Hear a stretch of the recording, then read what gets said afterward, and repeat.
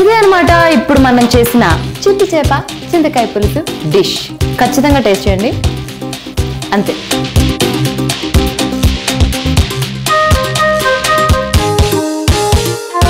ఇప్పుడు మనం చేసుకోబోయే రెసిపీ బేబీ కార్న్ మంచూరియా దీన్ని మనం దేశీ స్టైల్లో చేసుకుందాం. అంటే స్పైసీగా